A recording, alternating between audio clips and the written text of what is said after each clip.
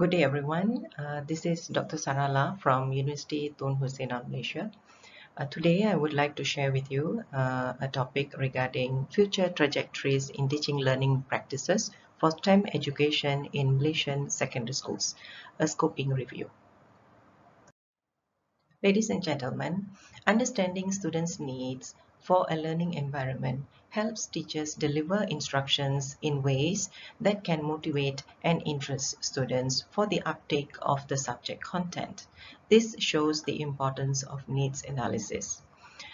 The concept of motivation and interest are interrelated, where motivation fuels interest and interest sustains motivation to learn. When STEM instruction is delivered effectively to motivated and interested students, it can help them develop 21st century skills such as critical thinking, independent learning, communication, collaboration, problem solving, digital literacy, creativity, and self-reflection. STEM lessons or projects need to be designed based on real-world issues and hot topics so that students can engage with activities in meaningful ways and realize the importance of the STEM industry itself. Ladies and gentlemen, let's highlight the problem. The number of students enrolling for STEM options at upper secondary school levels and STEM majors in tertiary education keeps declining at an alarming rate.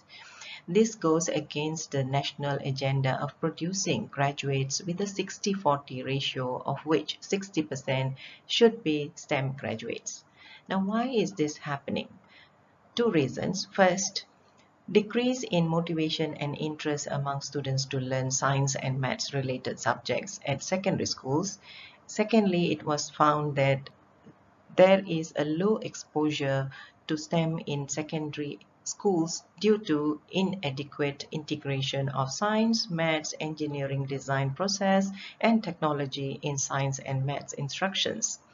This actually highlights the gap of the study, which shows that teaching learning practices in schools do not reflect the guidelines and objectives as proposed in the STEM education framework. Ladies and gentlemen, the main purpose of the study was to add to the current body of literature on the latest teaching learning strategies for STEM education from the psychological domains of motivation and interest. This study addresses two research objectives. First, to explore the current teaching learning practices that affect secondary school students' motivation and interest to pursue STEM. Second, to suggest ways to improve teaching learning practices in secondary schools to increase students' motivation and interest towards STEM. The data collection involved qualitative method using scoping review technique on more than 50 studies published between 2013 to 2021. The data analysis involved thematic analysis.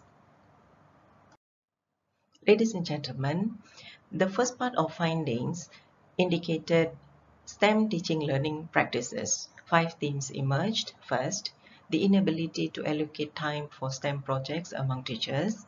Second, dependency on theory and practice-based learning. Third, lack of exposure to solving real-world problems. Fourth, engineering design process only seen in robotic-related projects or competitions. And lastly, Technology-based learning and ICT facilities are only available in selected schools. Therefore, based on the exemplified 55 studies, the review found that majority of the current teaching learning practices for STEM failed to realize the focus and objectives of National STEM Framework.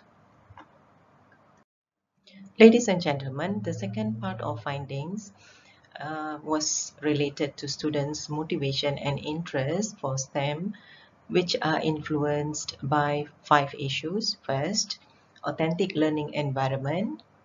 Second, performance in assessment.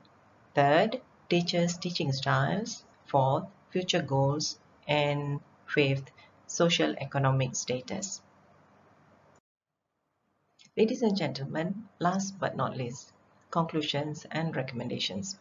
To achieve the STEM objectives for Malaysian secondary schools, improvements should be considered in terms of first, instructions by showing clear STEM integration in science and maths curriculum and providing equal access to ICT facilities and competitions. Second, teacher support by providing improvised instructional design and continuous training. Third, student development, ensuring students are more stimulated to develop self-efficacy and exploration skills for learning. Okay, ladies and gentlemen, thank you for listening and stay safe. Signing off, Sarala.